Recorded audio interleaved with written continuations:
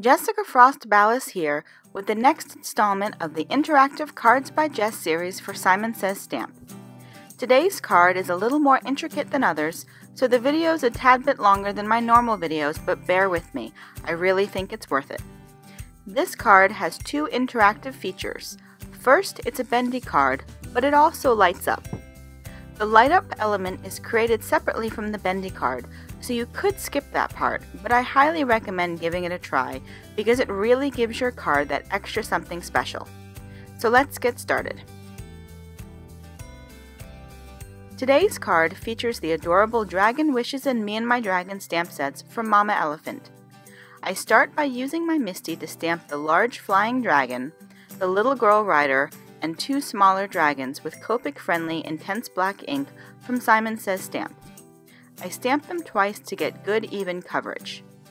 Next I take a scrap of vellum and stamp the large flames from me and my dragon using the same Copic friendly ink. I'll be folding this vellum in half later, so I stamp the flames on the bottom half of the piece of vellum. Next I create my background by blending Distress inks onto a large piece of Strathmore Bristol Smooth cardstock. The piece of cardstock is larger than a 4 and a quarter by 5 and a half panel, so I have a place to hold the paper without worrying about fingerprints. After it dries, I'll trim it down to an A2 panel. I want a dark pink sky, so I blend worn lipstick, abandoned coral, seedless preserves, and black soot distress inks across the panel. Once I add a new color, I go back with the previous color to blend them together. I like using Bristol Smooth for distressing blending because it seems to hold the ink on the surface of the paper a little longer, which gives me more time to achieve a really smooth blend. You'll see when I add the seedless preserves that I came in a little heavy-handed and ended up with lots of marks from my foam pad, but they easily blended out. The bottom of my sky will be covered, so I didn't worry too much about bringing the color to the very bottom of the panel.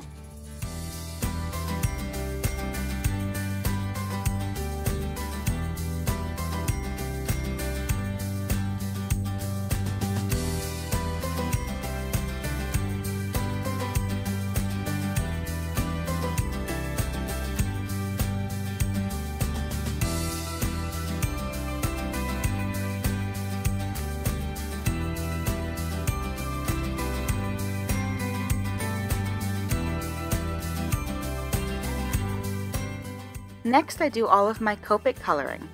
I start by using R27, R24, Y35, and Y38 to color my flame on the vellum. You won't get a really bright color when you're coloring on vellum, but since that will be over the lighted element, I just wanted to give it a little hint of color so when the card isn't lit up, you'd still see the color of the flames. Then I use neutral gray markers for my large dragon. I know it's not the norm, but I prefer to start with my darkest shades first and blend out to my lightest.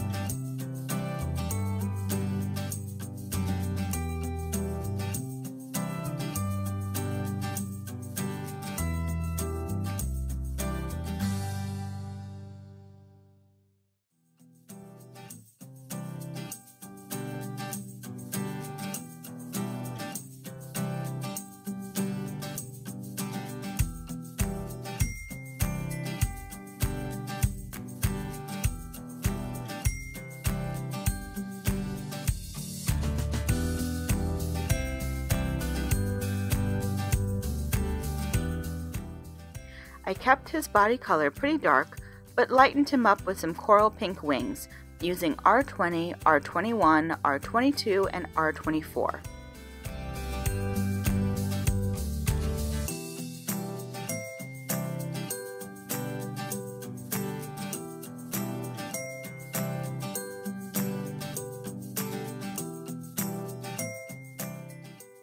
I color the girl's outfit with the same R shades and then used E42 and 47 and 49 for her hair, and E50 and E53 for her face. I add a little blush to her cheeks with R20. Next, I color my baby dragons using the same coral pink shades, and then use coordinating dies to die cut everything except the flames.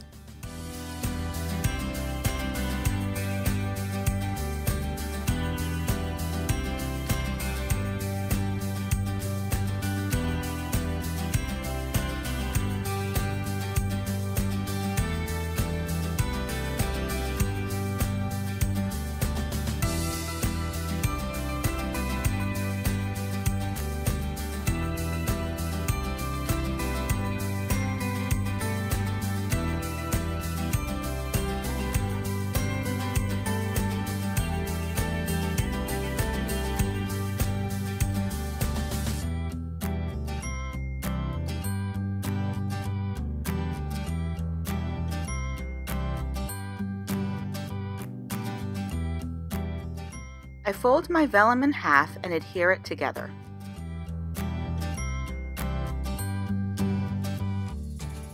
Then I die cut elements from the Kingdom Trio to use for my background and bendy card. I die cut the mountains from black cardstock, the second layer from silver glitter paper, and the third layer from dark gray cardstock. I vary the height of each element so that each layer can be easily seen from the front of the card.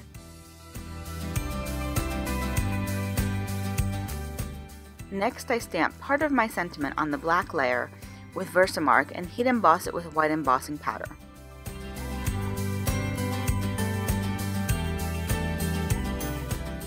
Then I stamp the rest of my sentiment on the dark gray cardstock and heat emboss it with the same white embossing powder.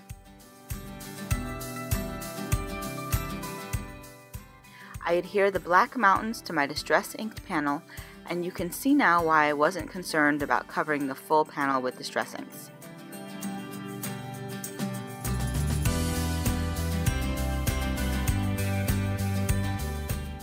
To create my bendy card, I score the silver glitter panel a quarter inch from the edge of the left side and score the dark gray panel a quarter inch from the right side.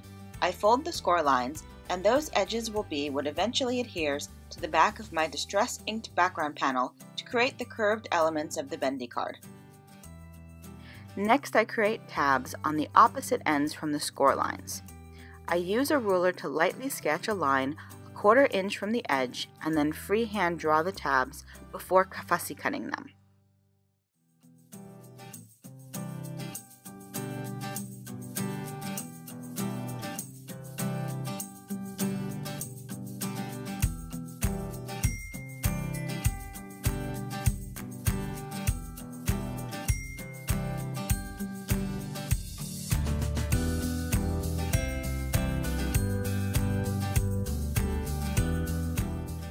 I erase the pencil marks and then I create the slots for my tabs.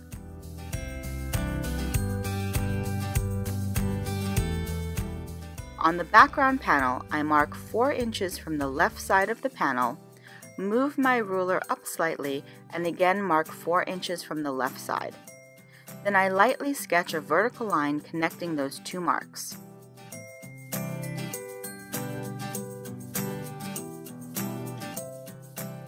I place the silver glitter tab along that sketch line as a guide and mark either side of the tab. I use the ruler to connect those marks to create a very thin slot. Next I use a straight edge and an X-Acto knife to cut out the slot. You'll see that I traded out the flexible plastic ruler for a metal-edged sturdy ruler. This is the hardest cut to make because you're cutting through two layers of cardstock. All of the other cuts will be much easier. I erase my pencil marks and tuck the silver glitter tab into the slot just to make sure it fits.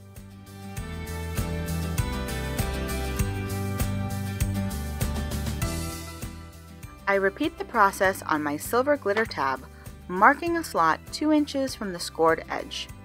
Because I used glitter paper, I drew my markings on the back of the paper so I could see them more easily. It's a little easier to see this slot that I cut on white cardstock when it's laying on top of a black background.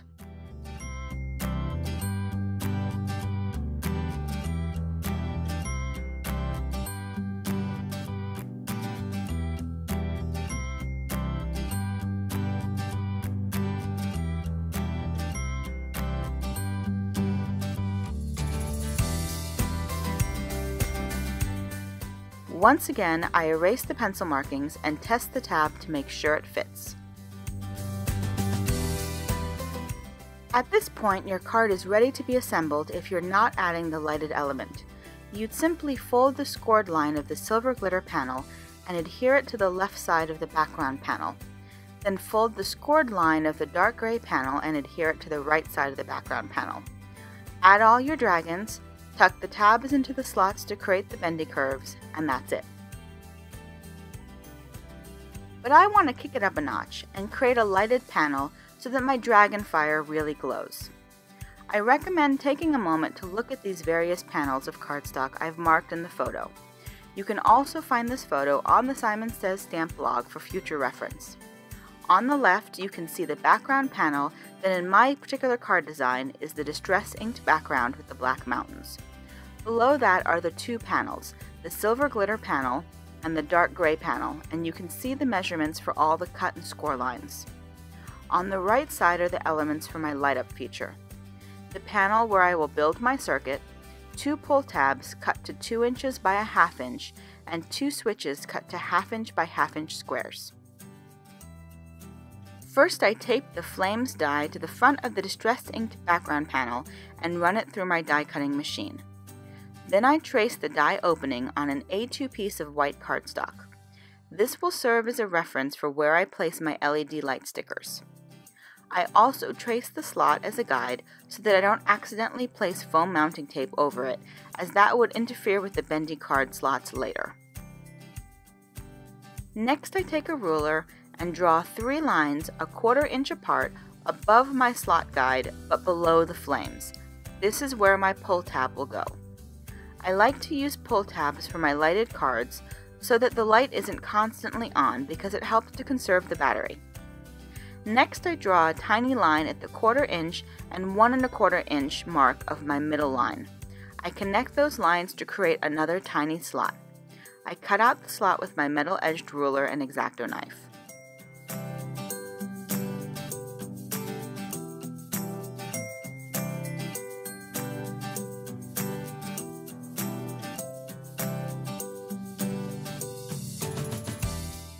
Then I use a 1 8 of an inch corner rounder to round one side of my pull tabs. I use part of a sentiment from the Lawn Fawn Push Here stamp set to stamp the word pull on the rounded end of one pull tab.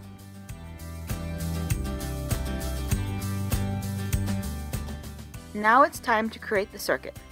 I've been using these lights for years, but every time I use them, I still draw my circuit first just to double check everything before I get started. I start by tracing the triangle shape of the light sticker over the flames using the plastic guide. If you don't have the guide, you can just sketch a small triangle. I originally planned to use three lights, which is why I drew three triangles, but you'll see that I eventually removed one before finishing the card. I also marked the positive and negative sides of the triangles as a reminder, as well as the color of the light stickers I want to use.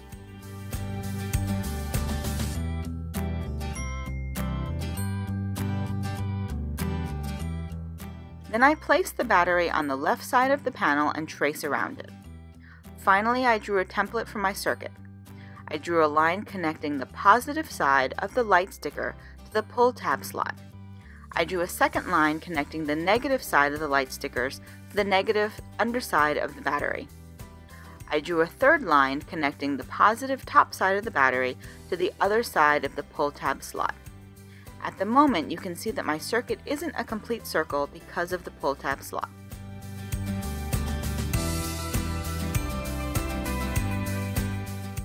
Next, it's time to lay the copper tape. I start by inserting the end of the copper tape through the pull tab slot and taping it down about a quarter inch to the back side of the panel. Then I follow the circuit I've drawn, laying down the copper tape along the positive side of the light stickers. I use my bone folder to make sure the copper tape is nice and smooth.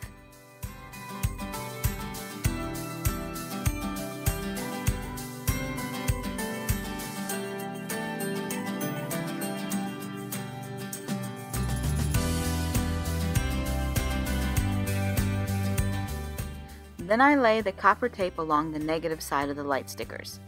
To get sharp edges, I fold the copper tape back on itself to get a sharp crease and then fold it along the crease to change directions. I add a little ATG adhesive over the battery template and then lay the copper tape over the adhesive. I smooth the copper tape with my bone folder again and then stick the battery to the adhesive.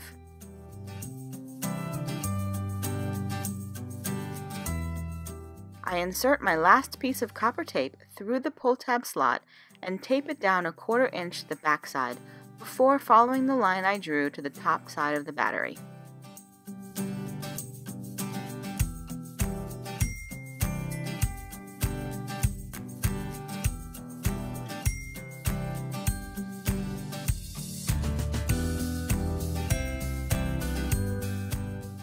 Then I apply my Chibitronics LED light stickers over the copper tape. I use red, yellow, and white stickers, though I later remove the white light. At this point, you can test the circuit by touching a piece of copper tape to the pull tab slot.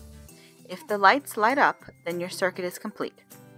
As you can see, my white light didn't initially light up, but after moving it slightly to the right and pressing down firmly, it came on. Humidity can sometimes affect the stickiness of the LED stickers, so for extra security, I like to add a little piece of copper tape over the negative and positive sides of the LED stickers to help them stay stuck.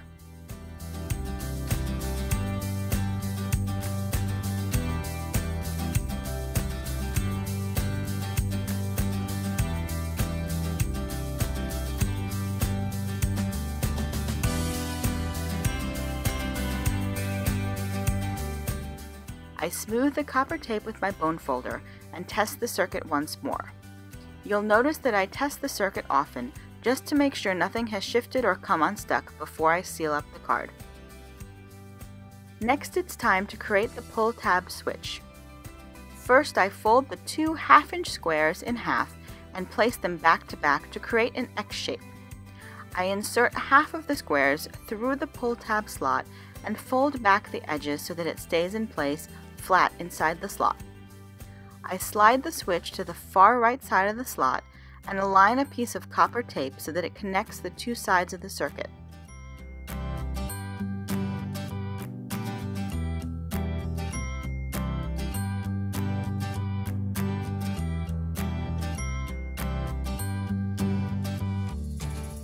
Then I remove the switch from the slot and fold the copper tape along all sides of the X shape until it overlaps, and then I cut off the excess.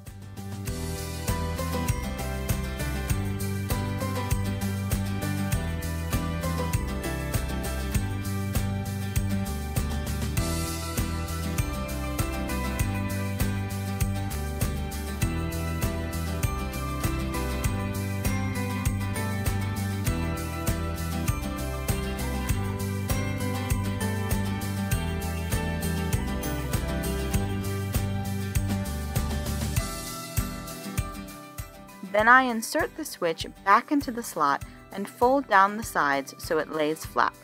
If you move the switch to the left, the lights go off. At this point, I like to slide the switch back and forth several times to make sure the copper tape is nice and smooth.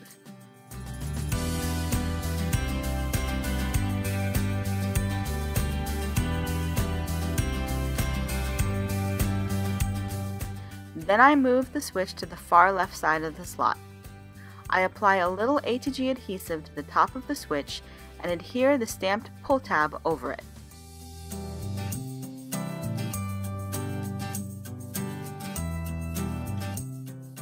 Then I flip the panel over, apply adhesive to the other side of the switch and the end of the pull tab and adhere the second pull tab on top.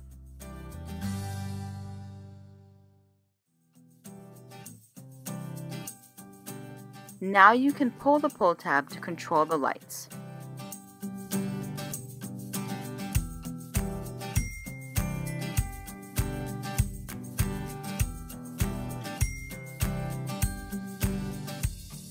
I adhere my vellum flame to the back of the Distress Inked panel and line it up over the circuit panel to see what it would look like.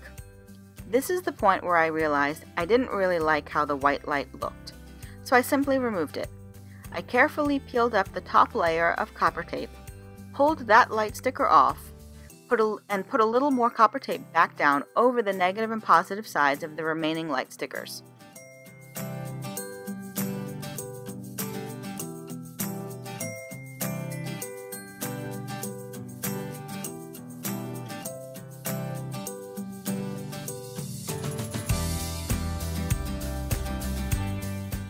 and it's assembly time.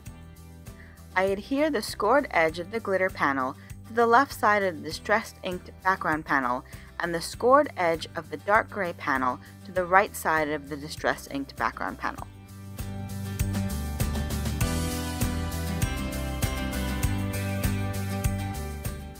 Then I add a double layer of foam mounting tape to the circuit panel. I probably used more tape than necessary, but I wanted it to be really sturdy. When applying the foam tape, I carefully add it around the pull tab switch to create a barrier so the pull tab won't shift from side to side. This is also where it's important to avoid placing foam tape over the bendy slot guide you traced earlier. I also tried to create a barrier of foam tape around the light stickers in the general shape of the die to contain the light. Otherwise, the light can actually shine through the cardstock in unflattering ways. Once you apply the tape, remove the adhesive backing and carefully line up the distress inked panel over the circuit panel and press firmly to adhere. I add the dragons with a little ATG adhesive and tuck the girl behind the large dragon. Off camera, I applied a healthy dose of Spectrum Noir clear sparkle to each dragon and a few accents with a black Jelly Roll glaze pen.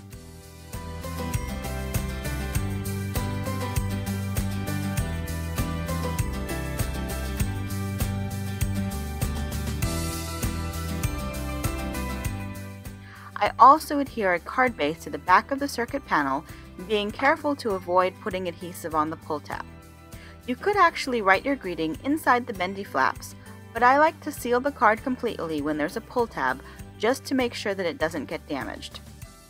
Finally, you can tuck in the tabs to give that extra dimensional look to the card and pull the pull tab to see the dragon flames light up. As you can see, I turned off my desk lamps to give you a better look at the flames turning on and off.